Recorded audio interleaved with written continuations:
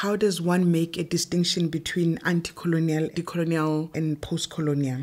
I think uh, there are three concepts there which needs unpacking and uh, defining for for purposes of clarity and the understanding of what decolonization is.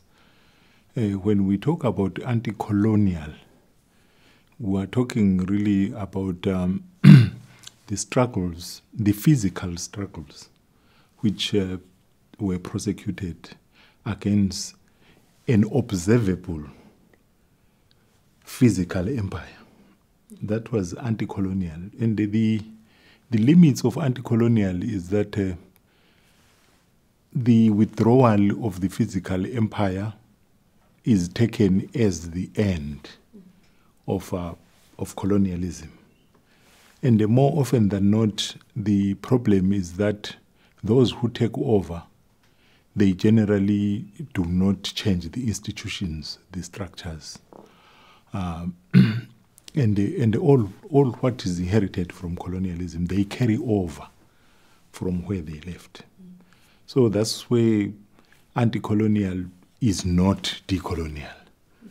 Decolonial then comes in as a more radical part, uh, which actually targets the the structural, the systemic, and the institutional, and it targets them for change that uh, really you change the institutions which were introduced by colonialism.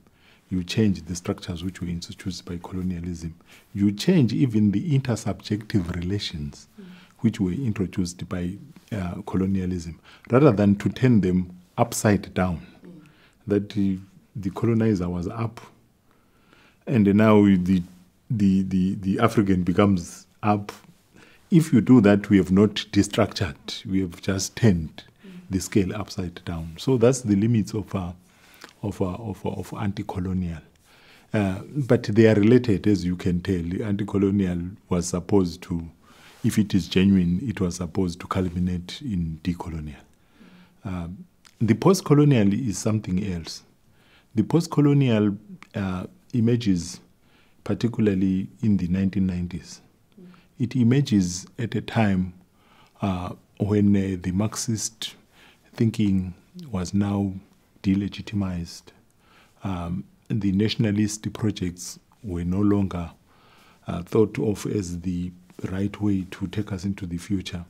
That's when you have the emergence of the post colonial. And the foundational text in post colonial thinking is the work of um, the Palestinian scholar Edward Said, mm-hmm. and uh, his book published in 1978, Orientalism. That is this text which is always referred to as inaugurating the post colonial. And uh, uh, the post colonial raised a number of debates. Uh, the first one is Does post colonial means after colonialism? And I think the most sophisticated, sophisticated answer is that post-colonial does not mean does not mean after colonialism.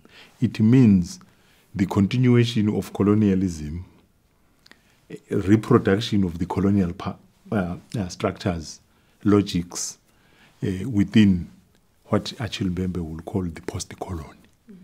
So the post-colony, if you look at it carefully, it becomes continuity in discontinuities. When colonialism is said to have discontinued, post colonialism see continuities in that.